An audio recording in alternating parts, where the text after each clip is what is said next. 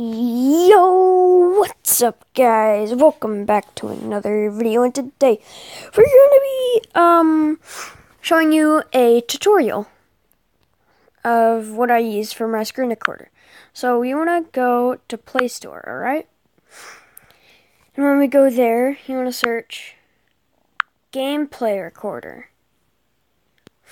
Then you want to do D Genius Mobile right here take a better look at it, I'll give you a couple seconds.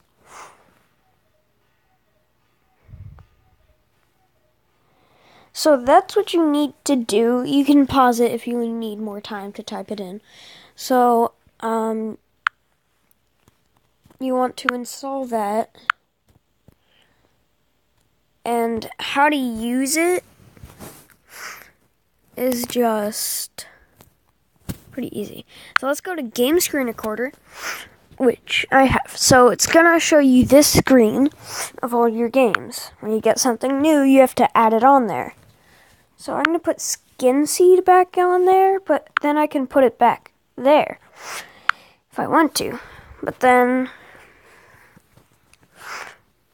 yeah, over here, go in the settings and do like resolution, frame rate, um, permissions, record audio on, show camera, stop by record button, record button option, show your prologue or whatever that is, prologue, time delay, video, organization,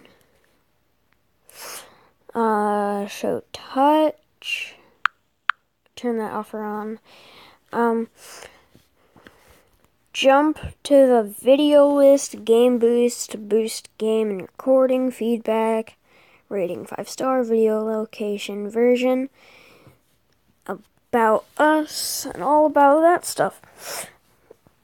And that's what I use. And then I can, like, you just need to type one of these games, just press it.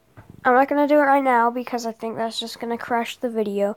So, um, that's how I do it. So, yeah, that's about all. So, if you guys think I should do way more tutorials, comment down below if you even can. If not, just like. Yeah. And always remember Oh, yeah, you can also go on videos. Oh, yeah, that's my face. That's what's going to be on the video.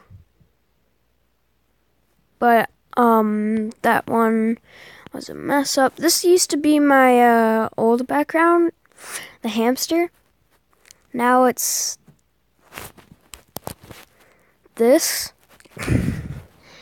So, hopefully you guys like the video. And always remember, stay Jimmy Neutron.